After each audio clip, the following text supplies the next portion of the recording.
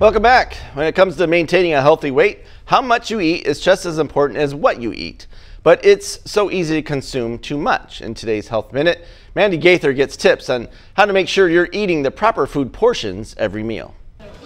Whether you're eating out or at home, a portion of food is how much you choose to eat at one time. The problem is that it is way too easy to overeat, especially with the large portions dished up at restaurants. How much a person should eat varies based on factors like a person's age, their current weight and height, their metabolism, their sex, and how active they are. But a key part of eating healthy is consuming balanced portions, and there's a tool to help you get the serving size right at every meal, says Dr. Sanjay Gupta. It's simply your hand.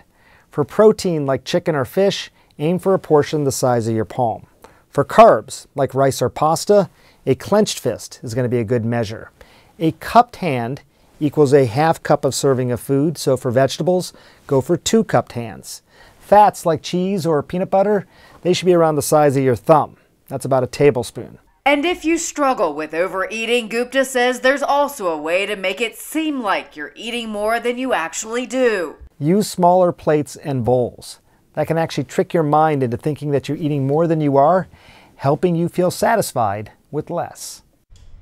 The National Institutes of Health have a lot of online resources that can help manage how much you eat, including dietary guidelines, which lay out how many calories you may need each day based on different variables, a body weight planner, which helps you make your own calorie and physical activity plans in order to get to a goal weight and a tool that helps you form healthy eating plans with the amount of food and beverages that are right for you.